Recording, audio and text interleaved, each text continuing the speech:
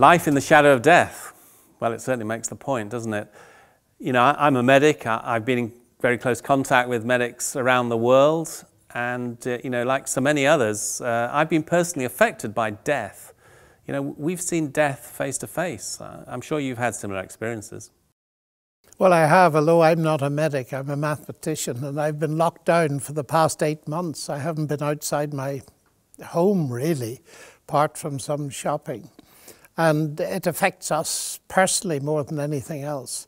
But one of the things that moves me deeply is to see people in your profession, the medical profession, right on the front line taking huge risks for the rest of us. And I admire that very deeply.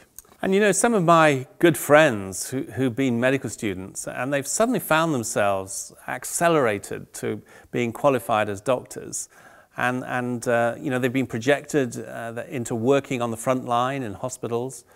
And many of them have found themselves facing quite amazing challenges that they were not prepared for, wearing the full protective equipment, you know, the PPE, um, and often having to give really bad news. Um, so one of the things which we're going to talk about, I think, is some of the personal toll that this is taking on people.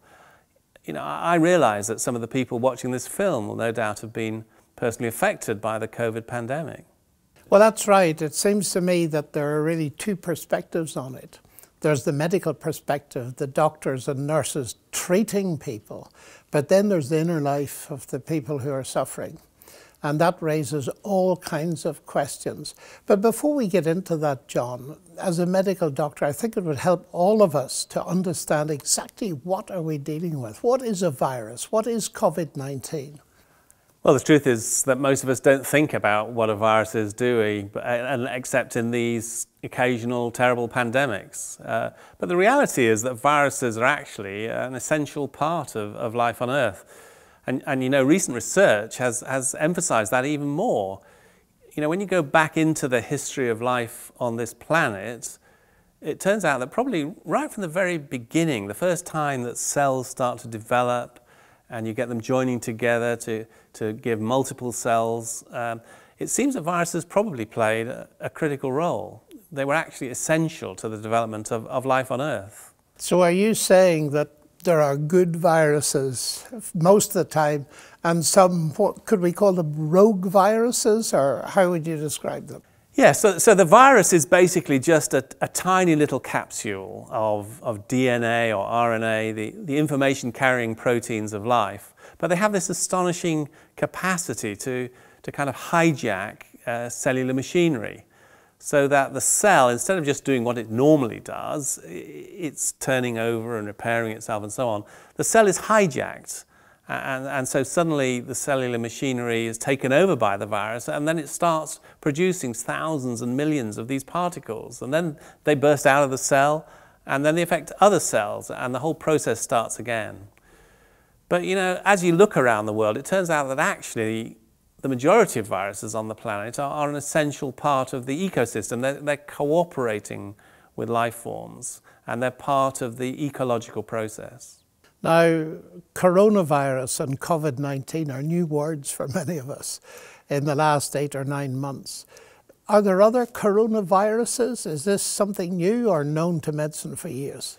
Well, yeah, me medicine has known about these things for some time. Uh, you know, the name coronavirus comes from corona, uh, the Latin for crown, and, and, that's what it looks like under an electron microscope. You know, the, the, there are these astonishingly tiny particles, but I think many of us have seen those images with a circular bit and then spikes sticking out. That's the coronavirus, and, and, and they've been known about for, for decades. Uh, and a number of common coronavirus infections are well known, particularly the common cold. You know, it's often said that we can get people on the moon, but we can't find a cure for the common cold. Well, that common cold is a coronavirus infection. But now what we're dealing with is a particularly vicious and unusual type of coronavirus.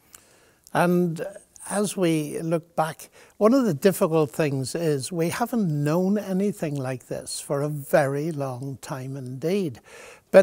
Is there any precedent for pandemics on this scale? Well, yes, there is. And, and, as we look back into the history of medicine, and it, it, turns out that pandemics have actually been very well known, a very frequent occurrence. In fact, you can trace them back thousands of years.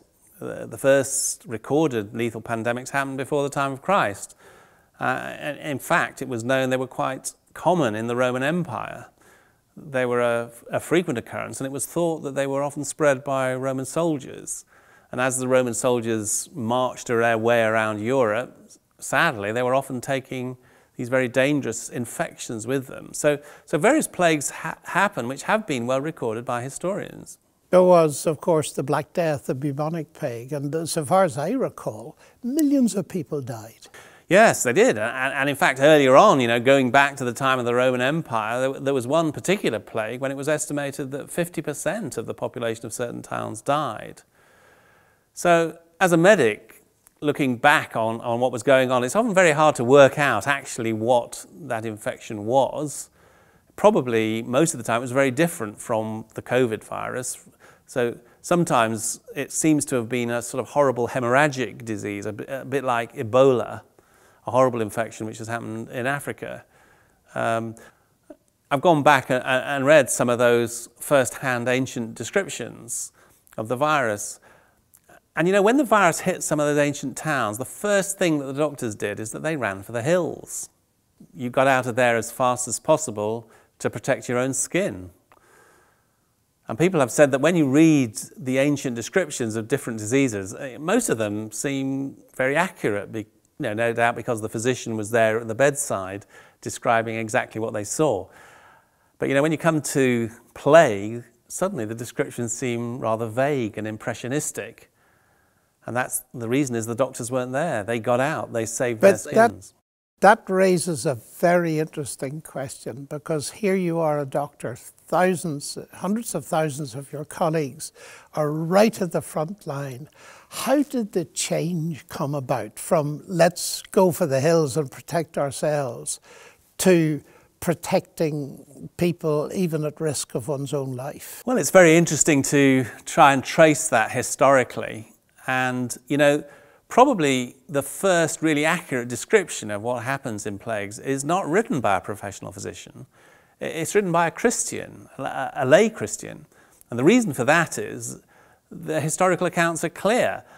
When those plagues swept into a Roman town, you know, we're probably talking about the first or second centuries after Christ, in many of those towns there was a small group of Christian believers.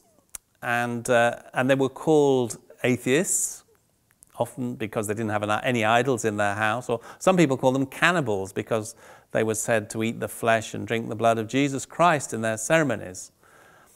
And the question is, what's going to happen the, the pagan people are pushing out their relatives, they're dying in the streets.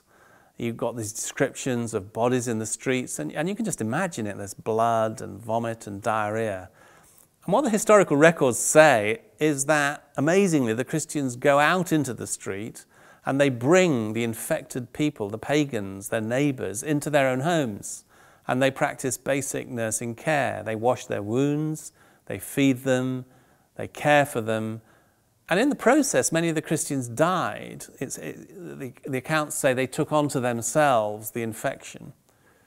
But the record says that they died serenely happy because they were serving Christ in this way.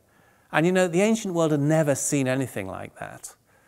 This was utterly unexpected. No Roman physician would have ever behaved in that way. So, what you're saying seems to support the idea that large aspects of the medicine we take for granted today are essentially a Judeo Christian legacy. I think that's right.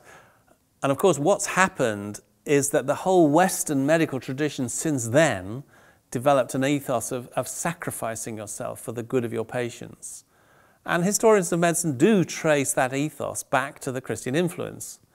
And, and so modern medicine is a curious amalgam of an ancient pagan pre Christian view which has become penetrated by a Christian understanding of respect and care for the most vulnerable, and this self sacrificial element to give your life for others. Here we are, John. It's a bit ironic to my mind, talking about life in the shadow of death. And this uh, coronavirus pandemic is casting a huge shadow of people. But I get the impression very few people are aware of this Christian dimension in healthcare. In fact, we meet many people who just say, Look, I could have told you so. This pandemic is evidence that no God exists at all. Have you come across that? Yeah, absolutely. Uh, of course, that I think is the dominant view. That's the dominant view in the universities, isn't it, in which we both of us worked. And it's the dominant view in the hospitals where I've worked. And, and you know, that's a paradox because I've talked to many of my colleagues who don't have any kind of religious faith. And they say, I'm absolutely clear as a doctor, I need to do the best for my patients, whatever it costs me. But when I push back a bit and say, why is that? They would say, well, it's just my duty. But ultimately, you know, this is a meaningless universe. It's about mechanisms, it's about science. Most of my colleagues are what you would call scientific materialists. So I think you have to take very seriously the question of how can you possibly understand the suffering that's going on? How, how can you say that there's a God behind this? I, it's interesting the way you frame that about your colleagues because the famous book by Camus, The, the Plague, its central figure is a doctor, Dr. Rieux, and he is totally committed to his patients. And yet, when you push him, the whole of the world is absurd. And it's my experience identically that we do have to take this kind of viewpoint seriously, and it's worth exploring it, I, I think, for a moment or two.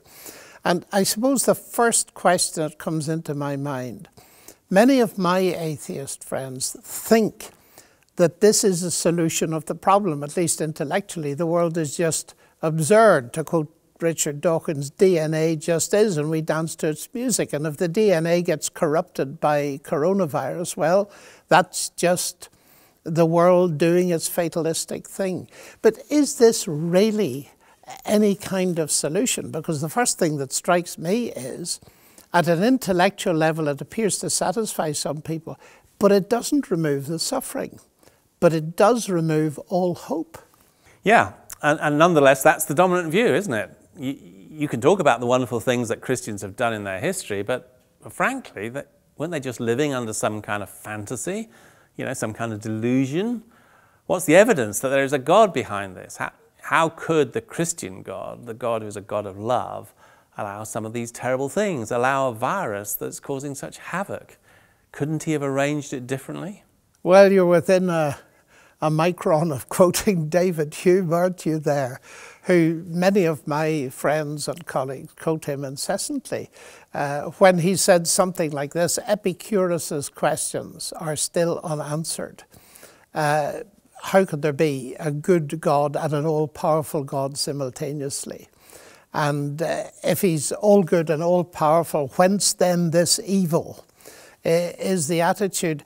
And I can understand that. I, I, I, and I'm sure you, in your profession, being far more acquainted with pain and suffering than I've ever been, can understand why it is people react with this gut um, antipathy uh, towards God. But if we pursue it, there are questions that are raised on the emotional and experiential side, but also on the intellectual side, because if you're going to say, well, there isn't a God because of this evil, to my mind, it raises a question where do you get your concept of evil from? Or indeed your concept of good? Where, where do those come from? Yeah, I can see that that really is a big issue, isn't it? Because we can see that human beings seem to have a fundamental idea of good or evil or of, of fair and unfair. You know, one of the very first things young child says is, it's not fair. You don't need to teach any child about the idea of good and evil, about the idea of fair and unfair. But you know, it's argued by many people that these are just evolutionary things. They had some kind of survival value in helping us to evolve on the African savannah. Well, uh, that doesn't wash with me because one of the interesting things that your illustration shows, if the child, one child says to another, we've all done it ourselves, that isn't fair. What we're actually doing is perhaps unconsciously and unwittingly saying there's a standard outside both of us. And I expect you to accept my standard and say it isn't fair. I believe it isn't fair, but I expect you to agree with me. And that seems to me to be a way into the fact that morality is just not uh, a subjective thing that's come about by all sorts of maybe random permutations through a long time, but there's something objective here. And our moral convictions are very deep. I've never met anybody who would uh, dream of saying, that is in their right mind, however we define that, who would dream of saying that torturing babies is a good thing. We have an absolute sense. And I remember J.L. Mackie, who was one of Oxford's leading philosophers and an atheist to boot, saying, if there is absolute morality, then we have a fairly direct way of getting to the idea that there must be a God guaranteeing it. And that weighs considerably with me. Uh, another thing that does, I, I, spent quite a bit of time in the former Soviet Union, and many of the people I met there in this kind of context would quote Dostoevsky's statement if uh, God doesn't exist, then everything is permissible. Now, of course, he didn't mean that atheists can't behave. Of course they can. We're all moral beings from where I sit, made in the image of God. What he meant was something much deeper. There's no rational justification for the concepts of good and evil if God isn't there. So here we come to this curious dilemma, in a sense. The atheist says, well, it's all absurd, there's no God, end of story you as a Christian have a problem because you still believe in God. So, what we have to approach is if atheism leads to the dissolution of morality, as very clear in the case of Dawkins, there is no good, there is no evil. DNA just is, and we dance to its music. Then, how do we come to terms with these things? Well, yes, and let me push you a bit further because the standard evolutionary explanation for morality is there is no absolute morality, there's just physics. There's just random events and, and cast iron scientific laws. And what happened on the African savannah is these ape like creatures start to evolve and then they start to tell themselves stories and, and they, tell themselves, they tell themselves fantasies. One of the very powerful fantasies was this idea of right and wrong and that we as a group, we have to behave in a fair way to one another. And so once they started telling these stories, it has immense survival value. And so the argument go, that's the reason why we've evolved. We've evolved not because we've got the strongest claws compared with a lion, not because we can run faster than an antelope, it's because we've got clever brains that invent these stories of right and wrong. Well, that in itself is a wonderful story. and I would question it as many levels. But to go back to what you were saying about the early advice to run for the hills, you see, that's, that would preserve the fittest. But you see, taking the altruistic view, and evolution has always had a huge problem with the altruism, caring for your patients at the risk of your own life, that is not a brilliant survival strategy for anybody. And, and so I, I feel that there's not a lot of substance in that kind of argument. Added to what we said earlier, that there appears to be something transcendent to morality. Now, uh, we've got to then face uh, the God question vis a vis all of that. Well, yes, uh, and know, just talking about evolution in medicine, I, have often reflected on the fact that I've devoted my life to working against Darwinian evolution. You know, I've devoted my life to caring for some tiny, pathetic little babies who, frankly, according to any evolutionary thinking, were unfit to survive. And yet that's what medicine's all about. It's this view that human life is precious, human life is special. So, you know, medicine acts in a way of, that's very anti evolutionary. Yes, and that is hugely important. I was listening to Jordan Peterson recently, uh, who's a very interesting thinker, and he has got some lectures on Genesis. And he was talking about the statement in Genesis where God says, Let us make men and women in our own image. And he paused and he said, Look, this is the cornerstone of civilization. And we neglect it at our peril. You see, your care, John, for those babies, and I remember when I first came across your work and I was deeply impressed by it, I even visited you in hospital when I was doing my degree in medical ethics.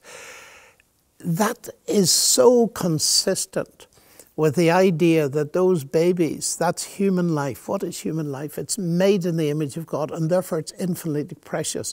And that is where a large part, it would seem to me, of our deep seated values come from, as Tom Holland, interestingly enough, has reasserted very powerfully in his book Dominion, which I've been enjoying recently. And I think more and more evidence is coming to light with people discussing the past to show us just how deeply this Judeo Christian idea that we're made in the image of God resonates with us as human beings. And therefore, when it comes to the problem of pain and suffering, I think it is at least a trigger to say we need to take what the Bible says about the problem of suffering, perhaps more seriously than we have done. What is its attitude to the whole question? Yeah, because isn't that the problem for Christianity? Because on, on the one hand, we're saying that human beings are precious, they're special, including the most vulnerable people. Uh, you know, they're all precious, they're all made in God's image. And yet, this virus seems to be targeting those who are most vulnerable you know, all the evidence is that the mortality rates are particularly high amongst black and ethnic minority groups. And it's among the elderly and the most vulnerable and the people with special needs and all that. How, how do we get our heads around that? The God who, on the one hand, says that life is precious, and on the other hand, allows a virus which leads to the most vulnerable dying. Well, let's step back from it a moment. This is the hardest question I believe anybody faces, no matter what their worldview. It's a really hard question, I believe, for my atheist friends. I find their solution unsatisfactory. It's a really hard question for, for me as a Christian. But I think it may help us to split the problem because when we're dealing with a pandemic or a virus, a cancer, or a tsunami or an earthquake, we're dealing with what is often called natural evil, which is a bit unfortunate and leads to what C.S. Lewis called the problem of pain. And I tend to think of that, that's a fracture in nature. But then there's the parallel problem of uh, moral evil, which is a fracture in human nature. And we've got those two things, and actually they can work together in certain scenarios. Greed, for example, can lead to deforestation, which can lead to starvation, that can lead to. So you get natural evil flowing out of moral evil. And okay, well, well, let's take those two. I think it's quite a helpful way of thinking about it. There's unnatural evil, and then there's moral evil. So let's take natural evil first. Why would the God of who Christians talk about, that God of love, why would he allow natural evil like this pandemic, this virus mutating and, and causing such harm across the world? You know, I could say it's all pretty well for you as a philosopher sitting in your ivory castle and thinking about this problem of evil, but where I am as a doctor, I, I see people suffering, struggling with pain, facing death, seeing the loss of loved ones. You know, we've seen all those terrible images, those mass graves and, and body bags and so on. And I think what people want to say is, how on earth can a God of love allow such evil, even if it is natural? That's a question that I face. I, I may be a kind of philosopher, but there's nothing that disturbs me more than watching what's going on in intensive care units, people struggling for breath, and going out into death not even being allowed to be hugged by their loved ones. It is extremely painful. And because I find it painful, I'm so nervous of trying to give an answer that appears simplistic and superficial because nobody wants that. On the other hand, I've got enough confidence in the, the Christian message to ask people look, let's just stand back a bit and listen to what it has to say and see if there's any sense at all to be made of it. Now, the question that immediately arises from what you've said is could God not have made the world differently? Now, that's a problematic question. You have told us that viruses are essential for human life. I arrived in Christchurch, New Zealand, three days after the devastating earthquake in 2011. And people were asking me all about that. And on the way over on the plane, I was reading a book which was telling me that if we didn't have tectonic plates, there would be no human life. So here we have this huge dilemma that viruses are necessary for life, yet they're killing thousands of people. Tectonic plates are necessary for life, and yet if you build houses above them, uh, they cause uh, large death and tsunamis and all this kind of stuff. And the simple question is why couldn't God have made a world in which there was fire that heated but didn't burn, or electricity that wasn't dangerous? And we argue and we go on and on. And what I've noticed with that is we never get a satisfactory answer. I can remember as a student constantly arguing with people and discussing surely a good God, a loving God would, and he put a stop to this right away. Never did we get a satisfactory answer? That's why it's a hard question. And as a mathematician, and what I'm used to in life is if you can't answer one question, try and ask another. And the other question, which to my mind is equally hard, is any worldview has to face the fact we live watching a very mixed picture. We've got brokenness on the one hand, the pandemic. On the other hand, we've got beauty. I went out and watched the Andromeda Galaxy the other night through my telescope. Spectacular beauty. And we've got this mixture, and all worldviews have to face that. The atheists face this evil and pandemic, but the question to them is why is there so much good? But as Christians, we're faced with the question why is there so much evil? Why, uh, why is there so much pain? Now, it seems to me that the other question that we can ask is this granted that there's a mixed picture, we got to face it head on. Is there any evidence anywhere that there is a God whom we could trust with it? Now, that's a hard question, but the beginnings of an answer, and let me run this past you, this is, this is a very complex and very sensitive thing. But the heart of Christianity, there's a cross.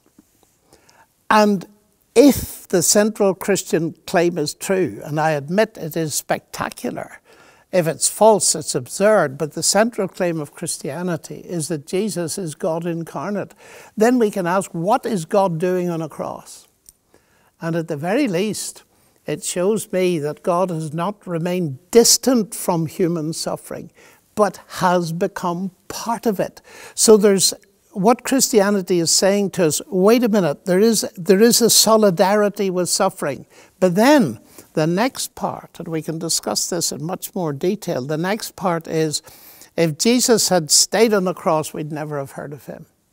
But the message that the early Christians announced to the world and which drove them to look after the people that were suffering in the plagues and the time of the Romans and, and the Black Death and all the rest of it, what drove them?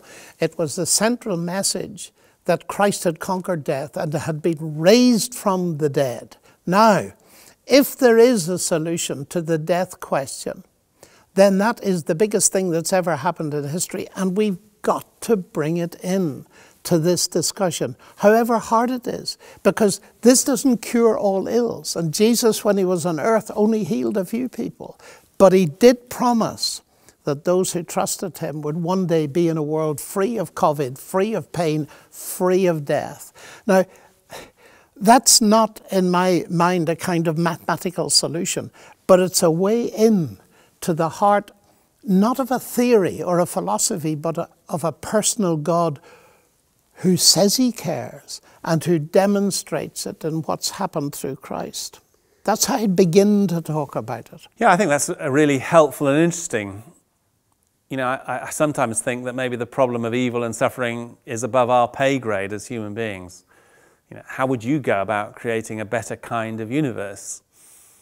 I mean, I've sometimes thought about what would it be like if, if we lived in a universe where nothing bad could happen, where as soon as something awful is about to happen, God steps in and stops it. However hard you try to hurt somebody, you couldn't hurt them. And you know, when you think about that, it's a kind of kindergarten world, isn't it? That, that's the world we create for little children, like a bouncy castle. Whatever happens to you, you fall over, you don't hurt yourself. But it seems like for whatever purpose, God chose not to put us in that kind of kindergarten world. Yes, now this is important because this spills over, necessarily so, into the question of moral evil. We all would love a world like that. And I often say to people, look, you would love a world in which nobody would ever go wrong and everything would be good and so on, but you would not be in it. And they look at me and they say, I wouldn't be in it. I said, no, because you are gifted with the most precious thing in the whole universe. You have the capacity to love people. Now, as Lewis pointed out, and many others have pointed out, in order to have that capacity as a gift of God, there must be choices. You must be able to experience the consequences of your choices. Uh, as Lewis said, I mean, you nearly quoted him there. If, when I was about to tell a lie to you, John, not that I'd ever dream of it, the air refused to carry my voice to you, it would turn the universe into a robotic universe. And I have been known to say that, look, God, of course, He could have made a world in which nothing made wrong, went wrong. We can do that. We can make a universe full of automata. But there's no morality, there's no love. And looking at our world, uh, you can say, well, why would God risk making a world like that? And I say to folk, and this is nearer to your field than mine, why have children? I can well remember my first child, a little girl, and I held her in my arms, not in your ward, unfortunately, but uh, we were well looked after. And I thought, do you know, you could grow up to reject me. I don't know why I had that thought. And I've often extrapolated that. Why have children when they could grow up to reject you? Well, most of us know the answer because the other side of it is love, a loving relationship, looking after those kids. And in that sense, God took a risk. But He created creatures dignified beyond by being made in His image. And then, when they went wrong, He made provision for them. And we've got to put the two things together. And it's the whole picture, the whole big story we need in order to make sense of the awful bits, the fragmentation bombs in the middle of it. Yeah, I think we both got to agree that ultimately suffering and evil are one of those ultimate intellectual mysteries which humanity has wrestled with for thousands of years. And we're not going to solve it in this discussion now. And, and we want somehow to say, yes, th this is real. This is something that we've got to continue to grapple with. But, you know, it's not just an intellectual problem, is it? I, think we need to talk about these things with tears in our eyes. You know, many people watching this conversation, they themselves, like us, have been touched by evil in different ways. You know, I like the quote that says, Suffering is not a question which demands an answer, it's not even a problem which demands a solution, it's a mystery which demands a presence. That's right. And I think one of the incidents in the New Testament that really speaks to me on this is the little story of a nuclear family uh, Mary, Martha, and Lazarus, the three of them, and he was presumably the breadwinner. And he got really ill. And Jesus was away, a long way away. So the sister said, Lord, the one you love is ill. It was an appeal for him to come. He didn't come. And here's our question Was he socially distancing? What was he doing?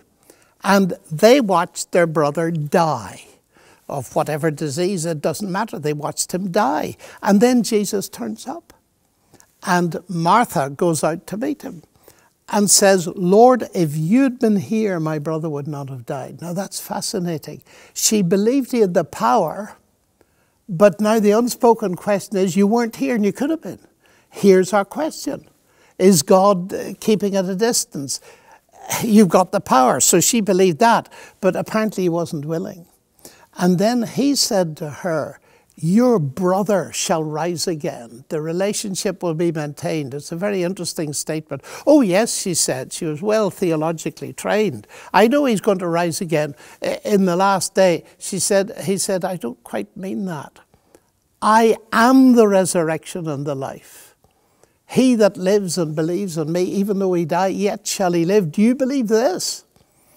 And at that point, she remembered her sister after this theological argument. And Mary came and said the identical words Lord, if you'd been here, my brother wouldn't have died. And then she started to weep. And instead of giving her a theological answer, what did Jesus do? Jesus wept. Now, it seems to me, John, you've hit a really important nerve here. There are people out there, they're looking for intellectual answers. Often they're the people who aren't suffering. But there are other people who are breaking their hearts and they're weeping. And they want to know if there's a God who's capable of weeping. And I think that's absolutely right. We should have tears in our eyes and our hearts going out because it is, it is in one sense, an impenetrable mystery. And yet, Jesus brought hope to those two because he did something entirely unexpected. He raised the man from the dead, he spoke. And I firmly believe that the evidence points towards this is telling us what who Jesus really ultimately is, that there's a day coming when this will happen on a large scale. And those who trust him, he will speak and they will be raised from the dead. And then pandemics and the whole of Earth's suffering history will look completely different, but we're not there yet. Yeah, and I know many people watching our conversation are going to be wrestling with the mental health implications of COVID. And one of the things that strikes me is just the levels of fear and anxiety which have been raised. A lot of this, I think, is what psychologists and psychotherapists call death anxiety. They say that most of, most of us live our lives pretending that death doesn't exist, and, and particularly we pretend that we're not going to die. But what has happened in the COVID pandemic is that you can't avoid death. You know, we turn on the screen, we see these horrifying images of intensive care units and, and mass graves and body bags. And the reality of our own death starts to stare us in the face and, and touches all of us, doesn't it? Those kinds of anxieties about death. It does indeed. Now, you're a doctor, John, and uh, of course, I have my own little experiences of this, but unpack this a bit. Because, as you say, there are people watching and they've got huge existential questions about it. And you're absolutely right. It does alert us to the question of death. And if I might just, before you unpack it a bit, say that one of the most interesting incidents in this connection in the New Testament is where Jesus was standing on the Temple Mountain in Jerusalem. And some of the crowd said, This is the place where there was a massacre. Pilate came and he massacred people worshipping. And he then said to them, Yes, he said, That's right. And do you think they were worse than anybody else in Jerusalem at the time? I tell you, they were not. And then he added something which is quite remarkable. He said, And then there was the Tower of Siloam, Siloam that fell, and 18 people were killed. So he moves from the moral evil of the massacre to the natural evil of the tower collapsing. Were they worse than anybody else? I say no. And then he added something. He said, Except you repent, you shall all likewise perish. By which I think he was saying, not that everybody's going to die either in a massacre or in a collapse of a tower, but that both moral and natural evil have the immediate effect of raising the death question and the significance, and immediately after that, the God question and the eternity question. And I suspect This may be one of the reasons why online churches are packed at the moment. Far more people than usually came because people want answers to that question. But this is where we're more than philosophers and medics. We're, we're human beings. Yeah. And we know about suffering, both of us in different ways. They're not just intellectual issues, are they? I mean, you stared at the possibility of your own death. Do you want to say a bit about that? Well, my, my, my story is very small compared with anything you have to say, but th- that is absolutely true. I, I got extreme pain in my heart, and it was obvious it was some kind of angina. And uh, they brought me into hospital, and all of a sudden, I heard a voice in the distance saying, We're losing him. And uh, pumped me full of that awful spray that nearly killed me, actually. And before I knew where I was, we were running through the hospital in Oxford. And when I got to the operating theatre, my wife Sally was with me, and I said goodbye to her. Hmm. It was pretty clear that this was going to be a massive heart attack. And the extraordinary thing, I remember it so clearly, was the absolute peace I had that I would see her again, that this wasn't the end. I go into the operating theatre. And the doctor puts the thing up my artery into my heart, and he just says, "Look," he said, "there's no none of the dye is coming through. I have to work very quickly." Forty minutes, absolute silence, and then he said, "I don't know what to say to you." I said, "Why?" He said, "You should be dead." And even if you'd survived the massive heart attack, your quality of life would have been less than 5%. But go home nothing has happened. Now, I look back at that and I'm thankful for it. It was, in that sense, a very near death experience. I know what it's like to say goodbye to my wife, but the thing that stays with me, I know the peace that I had. But, and here's the but, around that time, my sister's daughter, she was 22, just married, she gets a brain tumor and it kills her. And the simplistic attitude, if I were to say, well, I'm so grateful to God for giving me my life back, and I am, I've had a new lease of life since then for more than 10 years. What do I say to my sister? You have to be able to face both. So, how do you do it, John? So, my story is rather different. Uh, I've had the amazing privilege uh, of, of trying to support people, particularly with the death of babies. And you know, I've had the experience of carrying in my arms a, a dead baby and weeping with parents. But then, out of all that stress, I had the experience of a, a major psychiatric breakdown myself and of being put in a locked psychiatric ward. Oh. And you know, I, I think that the terrible thing about mental health issues is it affects the way you think. Because if you talk to me about God at that time, God was just a word with three letters. I mean, it meant nothing. I felt dead inside. I didn't have that great sense of peace. In fact, it was a kind of internal hell. But what helped you, John? You know, the one thing that communicated to me was, was not any talk about God, but it, it was human love. It, it was the fact that my wife came into my locked ward and, and gave me a cuddle of course, this was years ago, long before coronavirus, and you were allowed to cuddle one another. And some very close friends visited me in my, in my locked ward, and, and they just showed care and concern for me. And it, and it brought tears to my eyes that there were people who still cared for me. And I learned something from that in my own experience, and that is that however terrible the situation is, human love can, can penetrate through. And if there's, there's someone watching this now, watching our conversation, who, who maybe they're in a similar kind of experience of, of complete blackness and darkness, what I'd want to say to them is, is hang on in there. Be, because human love is something that can penetrate through the deepest darkness. And, and through Christian eyes, what I can now see is that God was reaching out to me in my locked ward not with, not with some kind of mystical experience of peace, but with, with human hands. You know, because we're human beings, because we have human bodies, so we need human hands to touch us. We need to hear a human voice. And God uses human beings to reach out to us. So, so, yes, there's terrible, inexplicable evil, but astonishingly, there's also human compassion, human love, which can penetrate into the darkest spaces. So, what you're saying is there is an answer to my question. There is evidence that there is a God who cares, even with all of this stuff going around. And if you remove that, then of course there's nothing but blackness and no hope.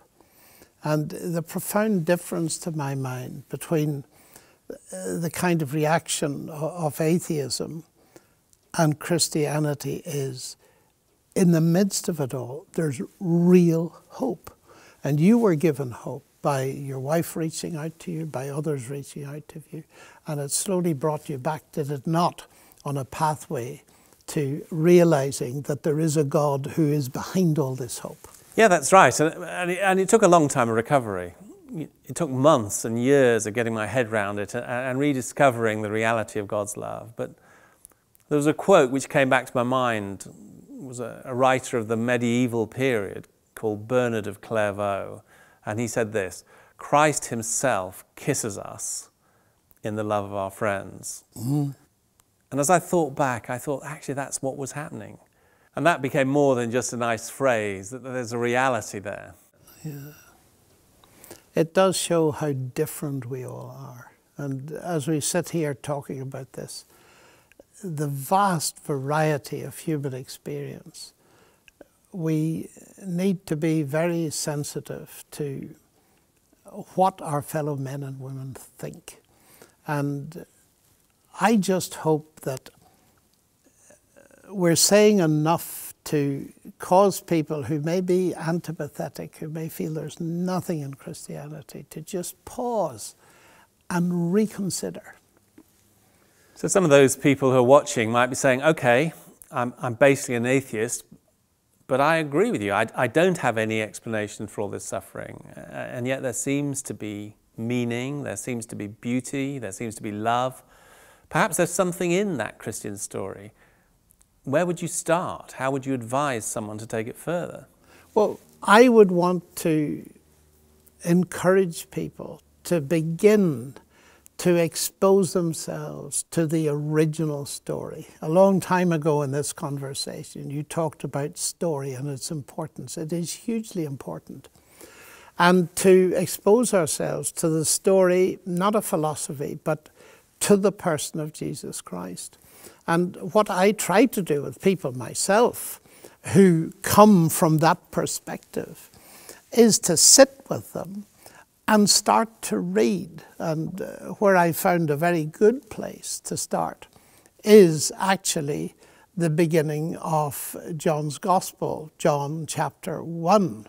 And uh, a friend of mine has developed an idea, and I actually have an example of it here, of a little book that you can share with a person that discusses the 18 sentences that form John chapter 1. And it gives both questions and answers, actually. And the, the point is really to expose people to it. I'll never forget one of the first times I did this with someone um, who had a very high powered job. And he wasn't listening to anything. Uh, and I said, Look, we're never going to get beyond this on, on, unless you're prepared to sit down and read with me. And he said, Yeah, I'm up for that. So I Xeroxed um, John 1. Uh, so he wouldn't be embarrassed by having a Bible around. I handed him a copy and I had a copy. And I said, Start reading. And here's this chap, and he, he starts reading. And suddenly he just gets absolutely fascinated. In the beginning was the Word. What does that mean? Well, what do you think it means? read on a little bit. The Word was with God, and the Word was God. And very soon he was leading the discussion. I said, You've never read this before? No. And my experience has been that when people are prepared, Uh, with no prejudice. I'm not asking them to believe this is God's word, although I believe it is, but simply let it have, have its effect, and then we've got something to talk about. And, and that's where I would start with people. But why take John's Gospel? Isn't it just an ancient sort of myth that's been developed over the years? Why not start with Epicurus, the philosopher you mentioned, or, or some other ancient literature? Isn't Jesus just a, a fantasy figure, a, a mythical figure? So Bertrand Russell thought.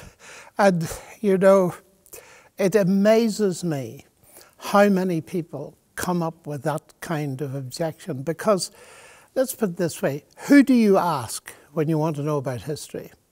You ask ancient historians.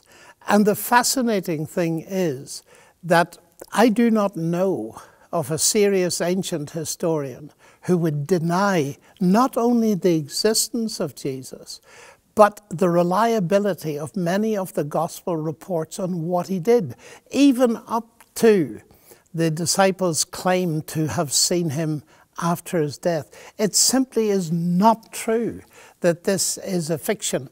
And the difficulty is that the people that ask that question, let me be frank, clearly haven't read any of this stuff. And if someone is interested in that, there's lots of material out there. There's a very good book, for example, by Dr. Peter Williams of Tyndale House in Cambridge called Can We Trust the Gospels? And the amazing thing is that at the historical level, where the Gospels are checkable, particularly Luke, who claims to be a historian, they find that in every detail, even details they thought where, they, where he got it wrong, they've found that he got it right. Details of geography, of the names of various officials, of towns, of, and, and so on and so forth. And therefore, authenticity of not simply Jesus' existence, but many of the things he did, including his special actions that we often call miracles, the evidence for them is very powerful indeed. So we're not talking about fiction at all. History is a rational discipline, and it's a very important one in leading us part of the way, at least, to making a, a reasoned commitment to the Christian faith. That's interesting because, of course, science is based on history as well, and, and science works historically. It builds the evidence on what is past what has been proven and developed. So I suppose I'm returning to the theme of science, and, and, I'm thinking there's a lot of people who are putting their hope on a vaccine. There's no doubt there's a great amount of scientific research going on just because of the pandemic. And I suppose that's another example of how surprisingly positive things can come out of terrible experiences. The, the whole field of vaccine research has had a massive boost because of the COVID pandemic. So there's currently 40 or more vaccines that are being tested in human beings across the world. And, and so isn't science going to be the answer? Science is going to solve the problem of the virus. Why on earth do we need God? Well, I'm very passionate about the scientific work being done on, on vaccines and ventilators and all that kind of thing because I am at heart a passionate scientist. And I would very much hope that they will very rapidly produce uh, a vaccine that will do a great deal and therefore uh, perhaps not completely eliminate these viruses because they're around all the time, but enable us to live with them. But the danger is that we begin to attribute almost divine qualities to science. Now, I'm passionate about science, but I'm passionate enough to realize that science is successful because it answers only a limited range of, of questions. And unfortunately, in recent years, there's grown up this idea that we don't need God because science will answer all the big questions of meaning. Stephen Hawking was famous for suggesting that.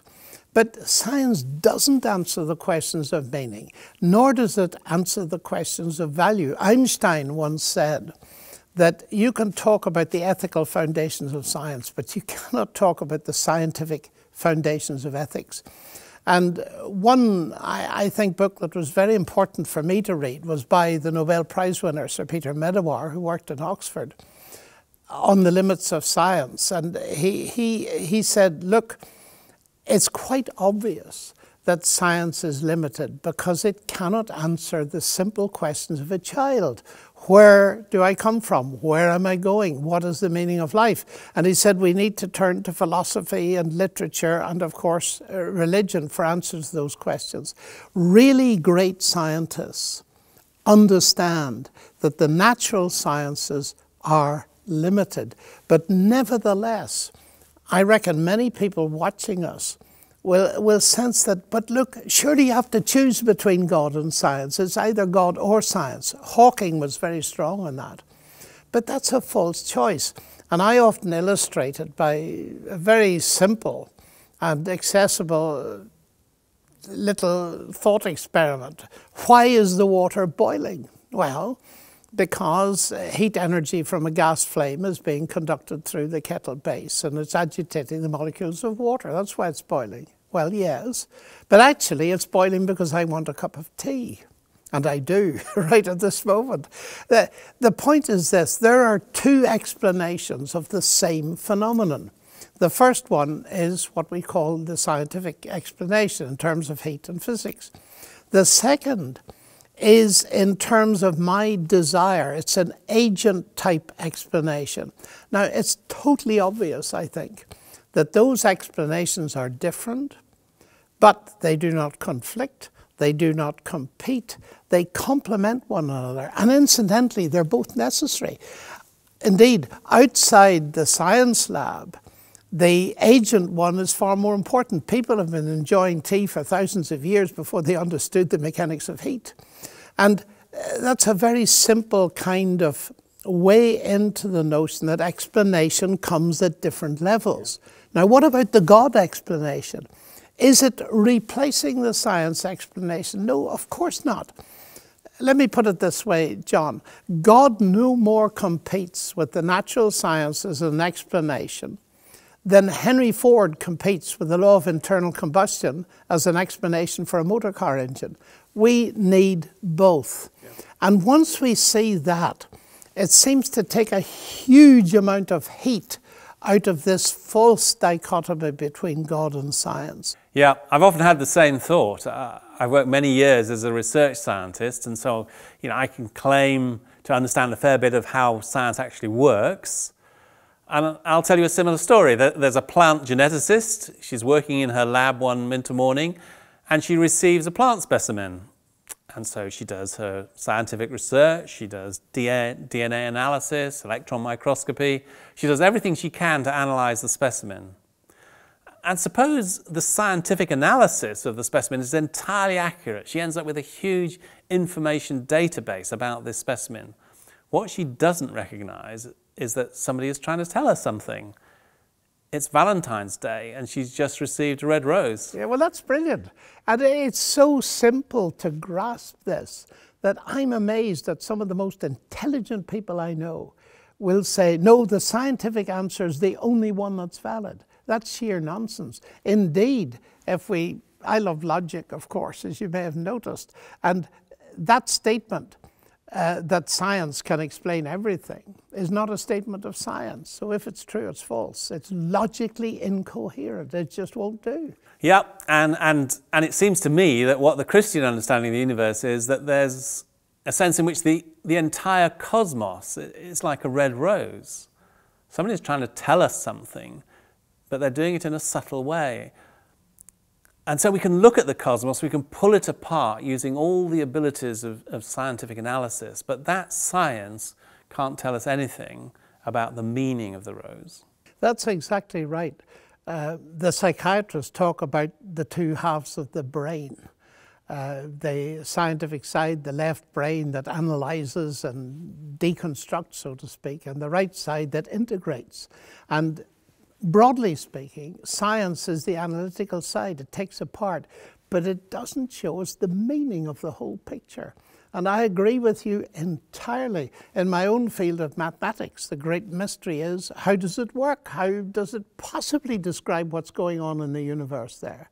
This is a mathematically intelligible universe. Well, it could be that the author of that universe is getting across to us a message that his universe is intelligible because he is intelligible. And I love the statement made by one of my colleagues at Oxford, Richard Swinburne, Science explains, but God explains why science explains. Yeah, I like that too. So, so as we come to the end of our conversation, I, I'm thinking about the future. There's, there's so many people struggling at this time of pandemic. That, there's a sense of hopelessness. You know, I, I sense that many people think we're just stuck. We're, we're stuck in a morass. We don't know how long it's going to go on. Uh, we hope there's going to be a vaccine, but who knows whether it will work? How many more body bags are there going to be? What's happening to the economy? What's happening to our children's future? So, where do you find hope as you look at what's going on? Well, clearly we have to be realistic. But at the same time, each of us as individuals has to, we all need a source of meaning. And You've asked me where I find it. I find my hope in the whole wonderful, big story that the Bible presents to us, starting with creation. At its heart, the advent of Christ and how he lived, died, and rose again, and his message of forgiveness and peace with God that have those qualities that transcend all the evil. And I do believe that in his death, he conquered evil and death itself. And ultimately, not yet, there will be a vindication. But I find that there's enough evidence to hang on there. This is something outside of myself that gives me great a great sense that it's going to happen one day because I've lived with this for uh, well, lived with the Christian faith for nearly 70 years. And I've spent my life being vulnerable with it in the sense of exposing it to its opposite. That's why I've engaged with some of the leading atheists in the world. I actually want to know what the truth is. And by exposing my Christian beliefs to severe questioning, sometimes very hostile questioning, the effect of that has been to actually strengthen them profoundly. And that's what gives from uh, Christianity the ring of truth for me. I do think one of the wonderful concepts that Christianity has, and, and, and it may be Christianity is the only worldview that has this, and that's the idea that although there's no explanation for the mystery of evil and suffering, there's the idea that suffering can be redeemed you know, it can be turned in some miraculous and unexpected way in, into healing and blessing. I've seen that in my life, in, in, the way that the suffering that I went through in that private hell years ago ha, has turned out, strangely, to be a, a kind of gift. Yes, there's still pain and there's still suffering, but I can see the way that God can bring good out of evil. And I'm, I'm hanging on to that belief that whatever the evil is that's going on in this world, God is greater than it. And we can just see little traces of how good is coming out of evil. It's tracing the rainbow through the rain.